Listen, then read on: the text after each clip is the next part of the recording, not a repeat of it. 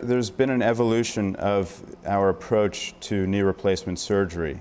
The technique has been modified over the years, the instrumentation has been changed, the implants have been modified a bit, and the natural transition has been to shorten our incisions and allow a less invasive approach to total knee and partial knee replacement surgery.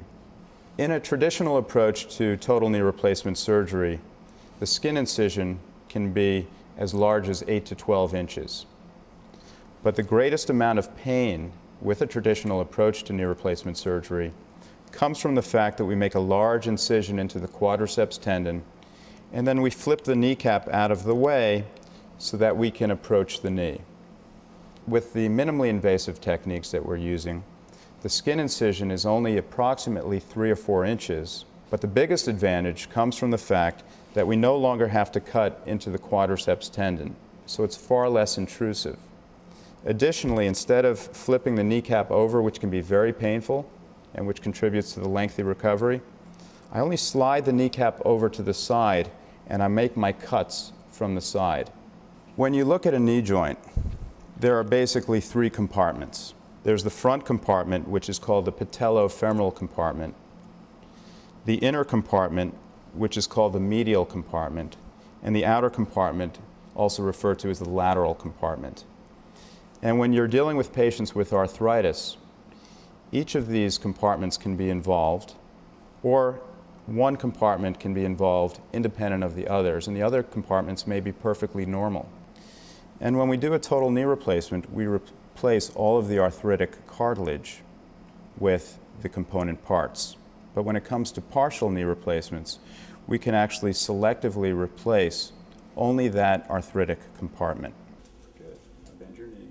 What I've been able to offer to my patients is a much less painful experience and a much quicker recovery through these minimally invasive techniques.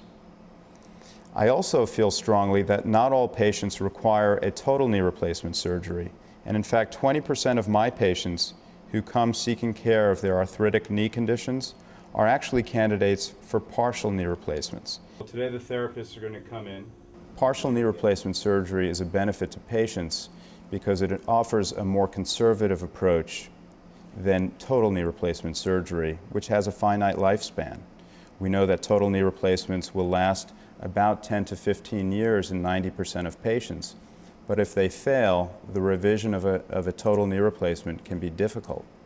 So a partial knee replacement offers a much more conservative approach than a total knee replacement, and particularly in our younger patients who may need several surgeries in the course of their lifetime, this offers a very attractive alternative.